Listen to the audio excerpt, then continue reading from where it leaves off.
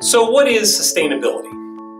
You've probably heard the term sustainability in some context or another. Maybe you've used some product or service that was labeled as sustainable, or maybe you're aware of some campus or civic organization that focuses on sustainability. You may recognize that sustainability has to do with preserving or maintaining resources. We often associate sustainability with things like recycling, using renewable energy sources like solar and wind power, and preserving natural spaces like rainforests and coral reefs. However, unless you have an inherent interest in sustainability, you probably haven't thought much about what the term actually means. This video provides a basic definition of sustainability. Simply put, sustainability is the capacity to endure or continue. If a product or activity is sustainable, it can be reused, recycled, or repeated in some way because it has not exhausted all of the resources or energy required to create it. Sustainability can be broadly defined as the ability of something to maintain itself. Biological systems such as wetlands or forests are good examples of sustainability, since they remain diverse and productive over long periods of time. Seen in this way, sustainability has to do with preserving resources and energy over the long term, rather than exhausting them quickly to meet short-term needs or goals. The term sustainability first appeared in forestry studies in Germany in the 1800s when forest overseers began to manage timber harvesting for continued use as a resource. In 1804, German forestry researcher Jorg Hartig described sustainability as utilizing forests to the greatest possible extent, but still in a way that future generations will have as much benefit as the living generation. So while our current definitions are quite different and much expanded from Hartig's.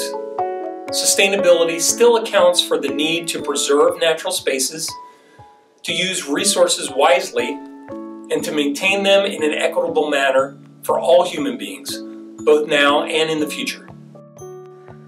Sustainability seeks new ways of addressing the relationship between societal growth and environmental degradation, which would allow human societies and economies to grow without destroying or overexploiting the environment or the ecosystems in which those societies exist.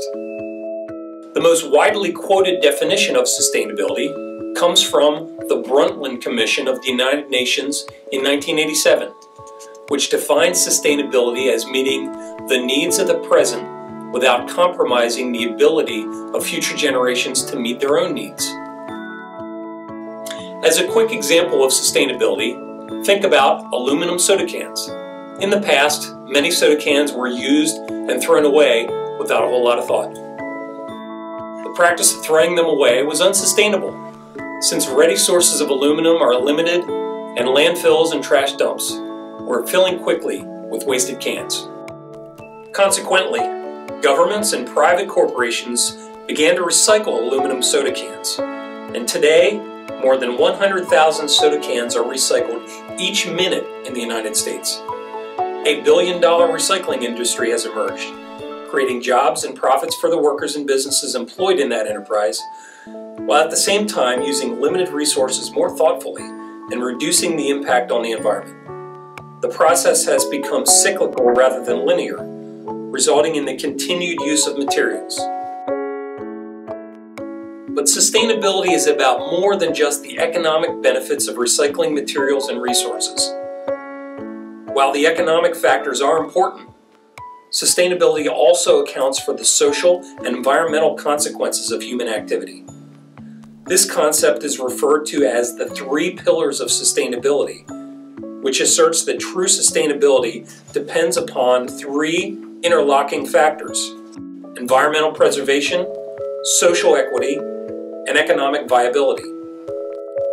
First, sustainable human activities must protect the Earth's environment. Second, people and communities must be treated fairly and equally, particularly in regard to eradicating global poverty and the environmental exploitation of poor countries and communities.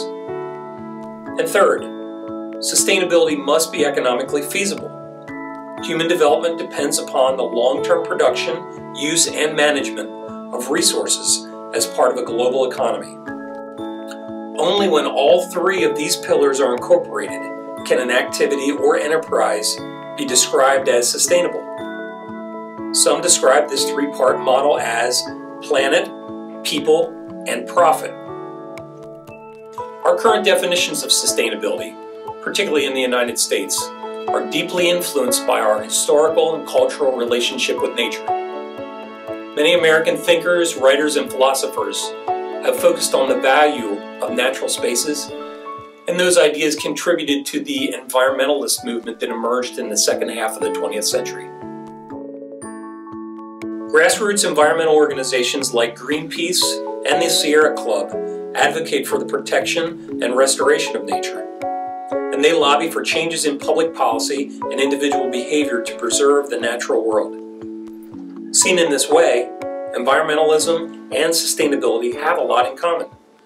In fact, some people think that our current conversations about sustainability are the next development or evolution of environmentalism. However, Earlier environmental debates often pitted the environment against the economy, nature versus jobs. And this dichotomy created a rift between those supporting one side of the debate against the other. Many of the current discussions involving sustainability hope to bridge that gap by looking for possibilities that balance a full range of perspectives and interests. Sustainability encourages and provides incentives for change rather than mandating change and the three pillars of sustainability emphasize this incorporation. Essentially, though, sustainability looks for coordinated innovation to create a future that merges environmental, economic, and social interests rather than setting them in opposition. So, in some ways, sustainability is the most important conversation taking place in our society today. The Earth is our home, and it provides all the things we need for our survival and nourishment.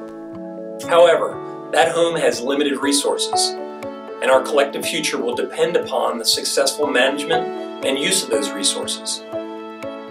We're living in a critical time where global supply of natural resources and ecosystem services is declining dramatically, while demand for those resources is escalating. From pollution to resource depletion to loss of biodiversity to climate change, a growing human footprint is evident. This is not sustainable. We need to act differently if the world and its human and non-human inhabitants are to thrive in the future. Sustainability is about how we can preserve the earth and ensure the continued survival and nourishment of future generations.